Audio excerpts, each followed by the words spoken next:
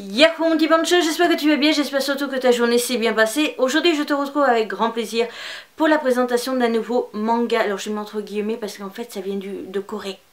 Voilà, c'est pas japonais, c'est de Corée et je sais plus comment on dit.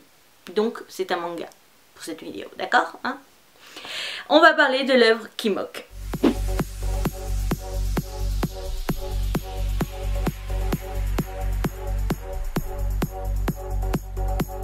Donc le manga Kimok est un manga en 5 tomes des éditions Doki Doki. Nous sommes sur une de genre comédie étrange de vie et mangaka. La série date de 2011 au Japon et de mars 2013 en France pour son premier tome. Nous sommes sur une série qui est H.CO 14 ans et plus et donc nous sommes sur un manga qui est d'origine coréenne avec deux mangaka qu'on connaît plutôt pas mal car Doki Doki a présenté pas mal de leurs œuvres. On attaque donc avec mon avis sur la qualité des couvertures, je te dirais qu'on est sur un j'adore énormément mais on n'ira surtout pas dans la case des coups de cœur. Pourquoi? Parce que déjà il y a un truc qui me dérange un petit peu et qui va déranger certaines filles. On est sur du Ichi et on voit très clairement que les auteurs ont mis en avant les filles et uniquement les filles de la série, les filles clés de la série pour vendre le manga et on n'a absolument pas le garçon de mis sur les couvertures, chose justement faite pour encore plus vendre. Voilà. Donc ça je trouve ça un petit peu dommage et en plus surtout que l'arrière est très dégagé et euh, on est vraiment sur des couvertures très euh, itchy, très provocantes. Alors on est sur quelque chose quand même d'assez soft, hein. on est sur quelque chose qui est H conseillé 14 ans et plus, on est d'accord. Mais on voit très clairement quand même euh, justement le côté recherche d'attirer le regard masculin sur les couvertures et donc ça personnellement j'ai trouvé ça lourd en fait voilà très clairement après l'arrière on a une petite image mais c'est quelque chose quand même d'assez dégagé donc je suis un petit peu déçue là-dessus aussi et euh, on n'a pas vraiment trop la quand tu vois les couvertures tu vois pas du tout une œuvre qui va être sur l'univers du mangaka et c'est un petit peu dommage parce que c'est vraiment le thème phare de la série c'est la création du jeune homme euh, en tant que mangaka, comment il est devenu mangaka, etc. Et je trouve ça dommage qu'on ait en fait aucune référence à l'avant au niveau du côté mangaka en soi. Et ça m'a vraiment vraiment déçu là-dessus. Voilà. Donc l'arrière je l'ai dit, enfin le dos est plutôt sympa parce qu'il reste coloré de la même couleur que de chaque couverture. Chaque couverture a une couleur différente donc ça je trouve ça cool.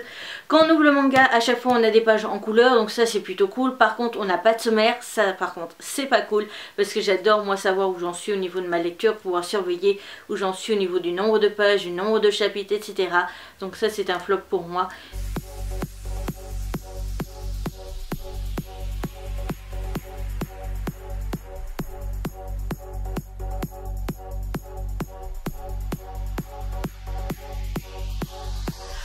On attaque donc avec mon avis sur la qualité du dessin, je dirais tout simplement que nous sommes sur un giga coup de cœur. Pour ce qui est de mon avis, donc il faut savoir que ce manga est une relecture, car lorsque la sortie du tome 5 était parue en France, j'avais lu l'intégralité de cette série. Maintenant, c'est toujours un giga coup de cœur et je vais t'expliquer pourquoi. Donc en ce qui concerne le résumé, je ne vais pas du tout évoquer ce qui, le scénario, je t'invite tout simplement à aller voir dans la barre d'infos car c'est assez compliqué à expliquer et je suis une catastrophe pour faire des résumés. Pour ce qui est donc de l'œuvre, il faut savoir le pourquoi elle m'a intéressée, parce que nous sommes sur l'envers du décor des mangaka. Au passage, c'est aussi un manga dans le genre Ichi. Et donc, l'envers du décor du mangaka est un sujet au niveau des mangas qui m'intéresse énormément, ou même des animés. Car, euh, pour ceux qui ne le savent toujours pas, j'envisage très sérieusement de devenir mangaka un peu plus tard. Et il y a certaines conditions que j'attends avant de pouvoir me lancer. Donc je te mets un lien d'une vidéo ici et en barre d'infos sûrement pour avoir plus de détails.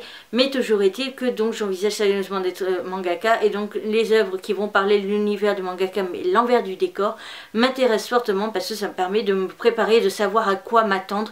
Surtout en travaillant à la méthode japonaise parce que la façon de publier un manga en France et au Japon est complètement différente.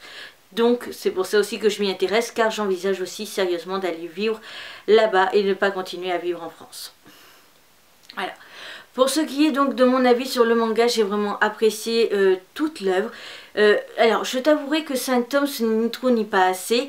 Euh, certes, on sent très clairement que sur le dernier chapitre, on est sur quelque chose d'un petit peu écourté, que limite, il aurait fallu que le volume 5 soit beaucoup plus gros que les autres. Tu vois, on voit on voit très clairement qu'ils font tous la même épaisseur. Il aurait fallu que le tome 5 fasse un tout petit peu plus en épaisseur et ça aurait été parfait. Un tome 6 aurait été de trop je pense, mais voilà, quelques pages de plus auraient fait quelque chose d'intéressant. La fin n'est absolument pas bâclée, je tiens à le préciser, c'est juste que j'en suis un petit peu déçue par rapport à mon avis sur l'ensemble de la série, mais en soi on est quand même sur quelque chose de très intéressant. Ce que j'aime aussi dans ce manga, c'est tout simplement qu'on va vraiment nous montrer la réalité de l'univers du mangaka, c'est-à-dire que des fois, on peut être juste le scénariste et être obligé pour certaines raisons, comme par exemple pour être sûr de respecter ses délais, de devoir donner ses planches à faire à quelqu'un d'autre et que cette personne en fait gère tout sauf euh, le scénario car ça c'est toi qui le fais et que la personne donc par exemple l'assistante que l'on voit sur la couverture 3 euh, va absolument tout faire. La qualité du dessin les fonds les l'ancrage absolument tout sauf bah, juste la, base quoi du, du manga. Donc c'est vraiment quelque chose de plutôt pas mal parce que ça remet en question de quelle est la vision réelle du mangaka. Est-ce que on est toujours un mangaka qu'on ne fait que le scénario et qu'on est complètement dépossédé de l'œuvre en soi et la qualité euh, dessin de l'œuvre Est-ce que on est encore un mangaka quand on voit une certaine vision des choses euh, comme le fameux mangaka qu'on aborde dans la série qui est Ozma euh, Quelle est vraiment la bonne vision des choses? Quelle est la vision des œuvres par rapport aux œuvres, etc. On nous montre aussi la dureté de réussir dans cet univers et la dureté aussi d'arriver à respecter ses délais et jusqu'où on peut être capable d'aller pour être sûr de respecter ses délais et aussi que par exemple même pour que euh, la maison de prépublication valide tes pages avant qu'elles soient vraiment ancrées et tout le tralala, que ce soit juste les pages de brouillon, euh, que justement des fois ça peut prendre des mois et des mois et des mois avant que tes pages soient publiées dans le livre de prépublication. Donc c'est vraiment quelque chose de très sympa parce que c'est vraiment très réaliste.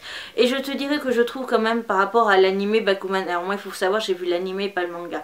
Mais par rapport à l'anime Bakuman je trouve que pour ceux qui seraient vraiment intéressés à être mangaka, c'est vraiment un bon complément par rapport à l'autre série qui nous apprenait aussi pas mal de choses. Là on va apprendre aussi pas mal d'autres choses intéressantes par rapport à l'univers du mangaka et l'envers du décor. Et j'ai trouvé que ces deux œuvres donc étaient très complémentaires en ce qui concerne donc ces deux aventures. Sachant qu'il y a un autre manga que je dois relire très prochainement qui est aussi sur l'univers du mangaka. Je te mettrai le nom en barre d'infos. Et euh, je sais plus trop. Je crois qu'on n'apprenait pas tant que ça. On était plus sur une aventure et une romance plutôt que vraiment euh, l'envers du décor et apprendre des choses grâce à ça. Mais je préfère pas dire de bêtises et attendre d'avoir relu la série pour te faire même peut-être n'hésite pas à me dire si tu veux un petit bilan même sur toutes les œuvres qui parlent de l'univers du mangaka à l'envers du décor. En petite conclusion te dire qu'est-ce que j'ai appris de bien chez l'un est-ce que j'ai appris des choses chez l'autre est-ce que cette œuvre était utile finalement par exemple pour bah, soit qu'on est français qu'on veut être manga quand même en France, ou qu'on est français qu'on veut comme moi s'expatrier au Japon et aussi faire du manga là-bas, c'est pas mal. Et euh, donc n'hésite pas à me dire si ça t'intéresserait que je fasse une petite vidéo conclusion, parce qu'il y a aussi une œuvre des éditions Akata qui est actuellement en cours, donc ça pourrait être pas mal que je fasse un petit bilan là-dessus. Voilà. La vidéo est donc à présent terminée, j'espère de tout mon cœur que cette vidéo t'aura plu, si c'est le cas n'hésite surtout pas à me le faire savoir, n'hésite pas à me dire donc si tu aimes le manga qui parle de l'univers des mangaka, est-ce que tu voudrais donc que je te fasse un fameux bilan sur toutes les œuvres en rapport avec les mangaka?